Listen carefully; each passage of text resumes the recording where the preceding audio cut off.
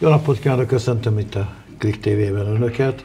A Méviszi műsorban köszöntöm Bot Péter Ákos közgazdát egyetemi tanár. Köszönöm szépen az ismételt meghívást. Hát már régen találkoztunk egyébként, annyi minden történt azóta, de mégsem az ön igazán professzionális területéről, a közgazdaságról fogom először kérdezni, hanem arról, hogy mindaz, ami ma politikailag, ez, és ez érinti a kérdésem legalábbis a gazdaságot is, hogy mindaz, ami ma politikailag történik Magyarországon, értem ez alatt a e, köztársasági elnök e, lemondását, ez a, ma én megmerem kockáztatni, hogy ez a belpolitikai válság, ez mennyiben hat nemzetközileg a, a, a, magyar társadalomra, illetve mennyire hat a forintra, mennyire hat a gazdaságra.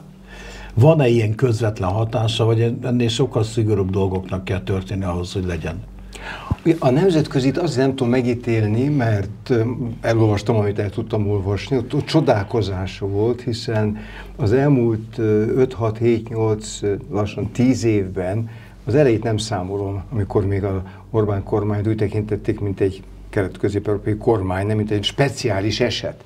Ez a speciális eset, ez arról volt híres, hogy itt nem történik semmi a főnökség engedélye nélkül, és itt valami történt, ami hát nyilvánvaló valamilyen működési hiba. Tehát a külső hírek, inkább csodálkozó hírek voltak, mert hát máshol is vannak krízisek, meg válságok, meg botrányok, de ott, ott tudjuk, hogy, hogy vannak, és, és ott megírja az újság. Na, tehát mindesetre csodálkozás volt. A forint árfolyamon, tehát ha mondjuk én le akarom fordítani a napi működésre, nem láttam különösebb jeleket. A kamaszin nagyon magas, majd meglátjuk, hogy a Nemzeti Bank mit csinál vele, és ezért a forint viszonylag stabil. Ezek a külső izgalmak, ezek nem érintették. A, a hazai az érdekesebb, azt gondolom, mert már, már és erről beszéltünk itt az asztalnál már, tavaly ősztől elkezdődtek ilyen belső viták, mégpedig, hát eddig is nyilván lehettek szakmai viták, a helyi bankelnök és a pénzügyminiszter, a pénzügyminiszter és a fejlesztési miniszter, akit most a nemzetgazdasági miniszternek neveznek. Volt közöttük ilyesmi, de azért az nagyon szordinó ment, és nem kapott nyilvánosságot. Na most itt azért nagy belső viták vannak, odaszólások, visszaszólások, és most akkor még ide sorolom ezt a mostani, ez egy be, belpolitikai botrány mindenképpen, és azért is, mert a, az eseményeket, melyeket azért én nem ismerek teljes mélységében, de az eseményekről az is értesült, aki az elmúlt x évben semmire nem reagált. Tehát a magyar társadalomnak van egy része, elég jelentős, amelyiket érintetlenül hagy minden nagy ügy. Vannak nagy ügyek, nem érintik meg, de ezek az ügyek úgy látszik, megérintették, tehát olyan fajta nézettségek, amik, amik azért azt jelentik, hogy egy, egy, nem, nem egy budapesti kör, nem egy, egy szegedi, vagy miskolci belvárosi kör, értelmiségi kör, hanem milliók néznek meg mondjuk egy adást, egy, egy Tehát a Magyar Péterre Például a Magyar Péter, két millió megnézik, hogy, hogy erre a, a, a celebek által, most ez, ez ilyen leszólóan hangzik, új szereplők által új formában szervezett rendezvényre elmennek 100 ezre, 120 ezre, megnézi két millió ember, vagy nem tudom mennyi. Na, tehát azért mondom ezt, mert mi beszéltünk nagyon fontos ügyekről lenne az asztalnál is, de azok, és most nem az államadóságot mondom, azt nem várom el, hogy ez izgasson valakit pár száz emberen túl, de általában nem izgatta az embereket, azt sem. Ha forint gyenge volt, kicsit csodálkoztak, ha az árak megnőttek, akkor szitták a boltosokat, de most azért olyan ügyek vannak, am, amelyekre nem lehet úgy oda mutogatni, hogy, hogy ezt a soros, nem, tudom, nem tudom, és kik, szok, kik ezt szoktak, Gyurcsány. Soros Konstans. Jó, de már, szóval ezt, ezt már nekik, még nekik se lehet, akiknek mindent el lehet mondani, ez már azt hiszem nekik se. Tehát ezért szerintem egy új helyzet. Na most a gazdaság azért érdekes, mert ugye volt egy 2022, rengeteg pénz ki, ki lett nyomva, és sose volt 2019 előtt, ugye? A 22-ről beszél. Ja, most 22, 22-ről, tehát a, a nem rég múlt, múltról. Arra jött a 23, ami recesszió. ez sem mindenki tudja, mi az a recesszió, de azt érzi, hogy nincsen az a pénz, ami korábban volt, és elfogytak nagyon széles körben a tartalékok, tehát azt gondolom, hogy most a, a materialista politika iránt nem érdeklődő, a közélettel nem foglalkozó, a legszűkebb érdekeit néző rétegekben is nagyobb lesz a, a tájékozódás érdeklődés, hogy mi van itt most. Ez a, ön szerint ugye van kormányzati tapasztalata, e, ismeri egyébként a folyamatokat, és talán nem jobb is a memóriája, mint az enyém, tehát hogy ez most egy erőteljesebb, nagyobb válság, mint amit eddig bármikor megélt a Fidesz, vagy a rendszerváltás óta. Eh, hát az valószínűleg 2006 a legsúlyosabb válság, eh, de a Fidesz léte vagy uralkodása idején ez, ez egy olyan válság, amit még nem talált Ez egy speciális szemet. helyzet, igen, igen. Ugyanis annyi időt telt el, hogy, hogy másra már visszamutogatni. Ez ment az első négy évben, ment a második négy évben is, ment a harmadik négy évben is, bár ugye egyre komikusabb, hogy, hogy Bezzeg Gyurcsány nem tudom mit csinált. Hát felnőtt egy nemzedék, akik nem is hallottak sokat Gyurcsányról, ha látták, akkor egy papa, ugyanúgy nagy papa, mint egyébként a miniszterelnök. Vagy mint lehetnénk mi is. Hát én is nem vagyok nagypapa, nagyon szeretnék lenni, de nem vagyok. Én de, igen. De mi, minden esetre azoknak a fiataloknak, akik kimentek, és ott, ott kimentek nagyon sokan, és a középiskolások, akik, akik aktívak, azoknak ez, a, ez, ez már mind múlt, ők a, amit látnak, az ez a hatalom, abban nőttek, abban születtek bele. Hát aki 16 éves, csecsemő volt akkor, amikor Orbán Viktor neki megkapta a stalumot. Na most ezért visszamutogatni nem lehet, és azt, hogy a lógok nem mennek jól, az mindenki érzi, hogy mitől nem mennek jól, itt akkor meg lehet uh, magyarázni, mert nyilván a hatalmas erőkkel, nagy megafon hangerőkkel harsogják, hogy ki felelős, de mindesetre az az érzés, hogy nem mennek jól. Most erőművel a gazdaság, és azért mondtam 22-t, mert jött 23, és a 24-ről én ebből készültem, erről fogunk beszélgetni, erről a mostani évről. Ez ugyan növekedési év lesz, és azt lehet mondani, hogy túl vagyunk a nehezén, de ez nem így van a növekedés a tavalyi mínusz, a egy, képest. mínusz egyhez képest tökéletes. Tehát ugye a lift levitt minket a pincébe, és most akkor megy két emeletet föl, hát még mindig csak az első emeleten vagyunk, és eltelt egy halom idő. És szeretnénk, ugye a tárgyaló az meg a 15-en van. Szóval itt a, a, a helyzet az nem a, a, a, az utcemberes szempontjából, de a, az elemző szempontjából, a politikus szempontjából is szerintem nehezebb 24-ben, az adatok javulgatnak majd, de bemondták, hogy az infláció elmúlt. Nagy miniszter úr azt mondta, hogy elmúlt. Agyonverték. Agyonverték. A miniszterelnök ugyanezt mondta, hasonló költői képpel. Nem. Hogy jön a növekedés.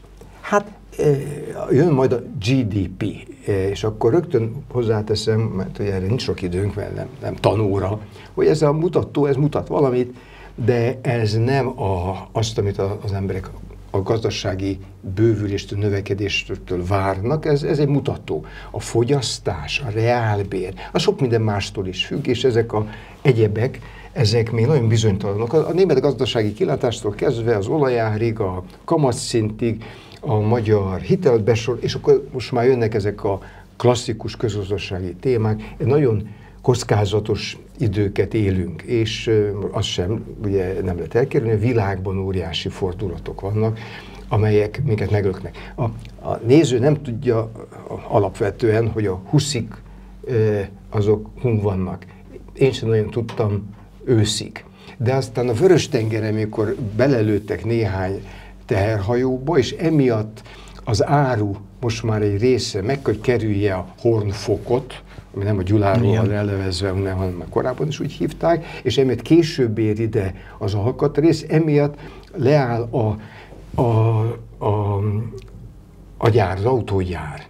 Le is állt. Igen, hogy nem jöttek a csipek, nem, nem jöttek a csipek is, vagy alkatrészek is, akkor hát Igen. amíg ugye Justin Time rendszer van, ha nem jön be, akkor meg le kell állítani, és ez levitte egyébként az ipari termelést, és a tovább még a G, ezt a bizonyos GDP-t is. Tehát, hogy egy olyan világban élünk, ami tele van bizonytalansággal, nehézsége, és akkor ebbe van egy most egy olyan politika, amelyik azzal küzdködik, a saját démonjaival küzdködik, mert hogy bedobott témákat, hogy a migránsok azok rosszak, aztán, hogy a, a gyerekvédelem, és akkor most jönnek azok a problémák, tömegei jönnek, hogy igen, a gyerekvédelem nagyon nagy probléma, nem csinálták meg rendesen. Na, itt vannak a botrányok. Hogy a migránsok, a migránsok, hogy nekünk kell, mondja a fejlesztési miniszter, nemzetgazdasági, most már így hívják, hogy kell százezer, kétszázezer, háromszázezer, szóval mondtak hatalmas számokat, kellenek vendégmunkások. Hát e, itt majd kapkodja a fejét a törzs szavazója is a kormányzatnak, aki pedig, aki pedig hát látta folyamatokat, az azt mondja, hogy hát kár volt e, csomó ellenreklám, amikor tudván tudtuk, hogy a világ nyitott, és ehhez föl kell nőni, hozzá kell szokni, és adaptálódni kell. Uh, ugye azt mondja, hogy 2024-re készült, de mégis a, a, a 2024 azon kívül, hogy mondta, hogy sok-sok bizonytalanság van, egy picit lehet, hogy a nézőink többet várnának. Miben van a legnagyobb bizonytalanság, mi az, amit tud kezelni a Fidesz nagy valószínűséggel, és működik-e az, ami az elmúlt 14 évben folyamatosan működött a kommunikációs stratégia? A, most száraz dologgal jövök, de a, a vég azért érdekes, tehát a, a, a költségvetés kipukkat 2020-ban. Ez sokakat nem izgatott, mert máshol is probléma volt. Aztán 21-ben is, aztán 22-ben is, és most megtudtuk, hogy 23-ban is. Pont ez a nagy miniszter úr jelentette be, hogy a költségvetés hiánya nemzeti össztermék százalékban 6,5 százalék, óriási. 3-9 volt tervezve lett 6,5. Na most ez és mindig... az EU-s engedély 3 százalék. És a norma 3 százalék, és ettől az évtől be is akarják tartatni, és akkor a kormánynak két opciója van. Egyik az, hogy, hogy hát eleget teszedek a 3 százaléknak, és akkor óriási adókat vet ki, illetve kifizetéseket tart vissza. Na most ebbe valaki belegondol, hogy adóterhet raknak valakikre, vállalatokra ugyan, de át fogják hárítani, visszafognak kiadásokat, nem illik abba a szövegbe, amit a, az évértékelőnek nevezett, hát inkább egy ilyen pártrendezvény volt, ez nem, nem az országhoz szólt a szöveg, hanem a saját bázisnak, de az volt, hogy nehéz év volt, 23, de most már ugye növe, növekszünk, és ugye miniszter úr, ugye akkor ez rendben van, és ugye külügyminiszter úr, dől be a tőke. Szóval ha ezt megcsinálja, a kiigazítást, az népszerűtlen. Akkora kell körülbelül, mint a Gyurcsány 2006 után. 2008.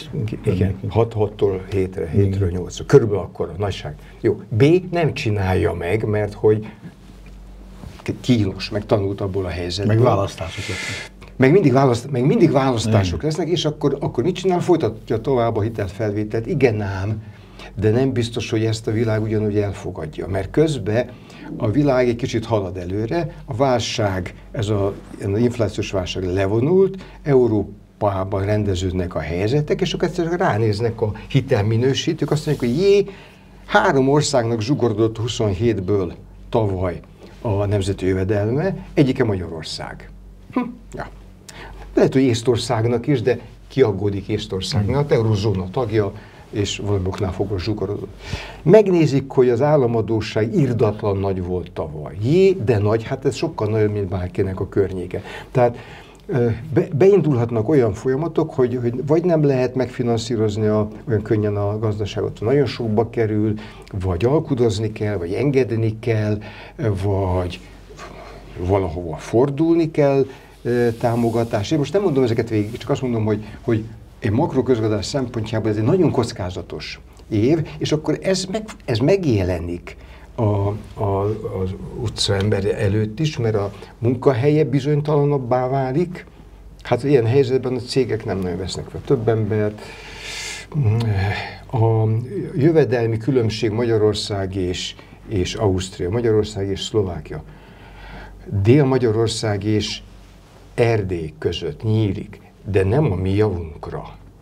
Ugye az a furcsa helyzet van. Közben hogy elég nagy ferényel tekintettünk Temesváron, rájuk. igen, Kolozsváron, vagy Aradon a munkabérek már a, meghaladják a dél-magyarországi, kelet-magyarországi. És ez, ez nehéz, erről nehéz beszélni is, mert ugye nem így nőttünk fel az elmúlt néhány évtizedben. És azért ezt, ezt mindenki látja. Tehát azt gondolom, hogy az, hogy a gazdaságban helyzet van, hogy a közben az egészségügy, az oktatás, hogy a vonatok vagy járnak, vagy nem járnak, hogy a posta vagy van, vagy nincs, azért ez, hogy az egész állomapparátusnak a hatásfoka gyenge, és pénz kellene bele. Ezt mindenki érzi, és pont most ugye négy éven keresztül esett szét a költségvetés, ezt az ötödik évet már nem hiszem, hogy meg lehetne úgy csinálni, mint a 2020-asat. De eddig még mindig úgy volt, hogy azt gondoltuk, hogy a gazdasági folyamatok azok törvényszerűen érvényesülnek, de ugye egyszer Orbán azt mondta, hogy az csak a tankönyvekben van úgy, de a valóság az más.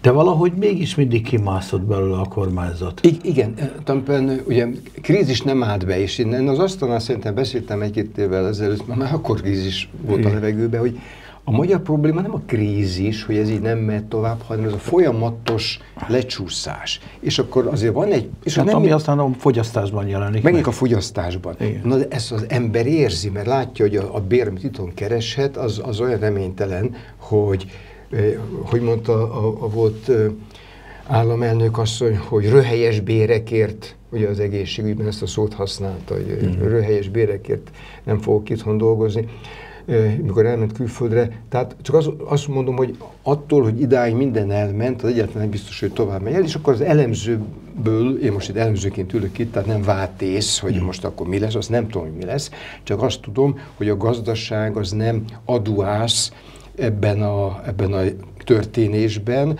még akkor sem, ha növekedni fog a GDP, mert most mondom még egyszer, az növekedni fog, technikai oka is van, bázistól is függ, és az összetétele is nagyon ö, érdekes tud lenni, mert van, hogy növekszik az ipari kivitel, jó, örülünk neki, hogyha növekszik, de attól nem biztos, hogy sokkal jobban élnek azok, akik azt gondolták, hogy azért most egy kicsit jobban fogunk élni, mert hiszen nem olyan régen elég jól éltünk, 22-ben, tavaly volt egy kis infláció, de most már elmúlt, azt mondták, hogy jobb idők jönnek és ezek a eh, jobb idők nem tudnak eljönni, mert nem tud úgy osztogatni ötödik évben a kormányzat, mint megtett. És akkor persze jogos az, hogy de az első négy évben miért ment el? Hát megy, megy, megy, megy, elér az, és tudom, nem megy. De egy csodaeszköznek bizonyít a, a, a kommunikáció, és ebből nincs, ebben nincs változás. Tehát, hogy nagyon-nagyon sok pénzt költ a, a Igen. kormány arra, hogy... Hát nem tudom, hogy csodaeszköze még, hogy mindent elhisznek az emberek, ez már nem az én szakmám, ugye ezt visszadobom a labdát, de én pont ebbe is érzek különbséget, hogy van, van, van most már egy elég széles réteg, amelyik nem, nem veszi be. A, ugye azt is mondta Orbán Viktor, azt hiszem ő mondta, hogy ömlik most már ide az Európai Uniós pénz. Én ennek nem látom a nyomát, hogy ömlene, e, valamennyi jött, de hogy az Európai Uniós pénzekre várni, e, az egy hiú remény, tehát... Ugye ahogy... két, két szövege volt. Szokott kettő lenni a, a politikusoknak. Egyik az, hogy túléltük a 22-t, 23-at, 24 hol, hol egy fillért se kaptunk Brüsszelből. Ezt is hallottam Igen. ugyanonnan. Igen. Nem igaz. A másik, hogy dől a pénz. Hát jött a pénz, december végén jött egy jelentősebb összeg, januárban jött egy jelentősebb összeg, meg is mutatkozik egyébként a devizatartalékon, ilyesmin, de nem dől, hanem jön. Na most az a nagyobb összeg, ami egyébként rendelkezésre áll a megújítás, az például Románia megkapta, Lengyelország meg fogja kapni, Szlovákia megkapta, Magyarországra annak a fele jön körülbelül, mert nagyon jelentős rész vissza van tartva. Tehát megint nem az van, hogy leesünk a szakadékba, hanem hogy, hogy nyílik a, a, a rés a környezetünk és Magyarország között, és egy idő múlva ez egyre láthatóbb lesz. Úgyhogy azt gondolom, hogy az uniós pénzek nem mentenek meg minket, nem is apadtak el teljesen, hanem jövögetnek. És a jövőgetésnek az az oka, hogy a magyar kormányzat a, a teljesítget, a pénzek meg jövőgetnek. Uh, egyébként ugye nyilván ez nem a az ön szűkebben vett területe, de azt látom, hogy Orbán Viktor alapvetően abban bízik, hogy az Európai Unió tesz egy jobbra fordulatot, és az majd, e, ugye, ahogy ők fogalmazták, az ő elér, Európa magyar hangon fog, vagy a mi hangunkon fog beszélni. E, ennek van-e bármiféle valaki, meg hogy a gazdasági folyamatokat egy új összetételű Európai Unió meg, tud, meg akarja, meg tudja változtatni? Én, én, én azt ne, ne, ezt nem látom, mert a jobbra fordulat, én, hát én, én a politikai jobb oldalon vagyok, nem a bal oldalon, az, ha jobbra fordulat, az azt jelenti, hogy piacpárti és vállalkozási és, és verseny, akkor adná Isten, de abban nem fér bele a Fidesz. Hát a Fidesz nem jobboldali párt. Az én normáim szerint nem a gazdaságpolitikája egy, egy etatista, etatista, államközpontú, fejlesztő, inkább ázsiai típusú az a modellje. Tehát nem, én nem hiszem, hogy olyan szelek jönnének, amelyek ezt nagyon segítenék. Ha viszont Kelet-Közép-Európában lezajlik most, és ez az, az ukránát ért támadásnak a kimenetétől is nagyon függ, hogy egy e, feljövő erősödő Lengyelország, egy feljövő erősödő Románia, a Baltikum, amelyik, amelyik keresi a, a szövetségeseket, itt, itt, és ez egy növekedési pólus. Tehát itt nem vagyunk rossz helyen most, csak nem vagyunk benne ebbe a körbe. Itt megint problémát látok. Én nem tudok olyat elképzelni, olyan politikai, külpolitikai, geopolitikai fordulatot, amely e, igazolna azt, hogy itt Magyarországon a, a kínai autógyár és a kínai autó alkatrész gyárra fűzzük fel a magyar jövőt, miközben Európában akár ezek a pártok, akár más, más felállásban, de egy európai identitást akarnak, mert nagyon sokan ezt akarják.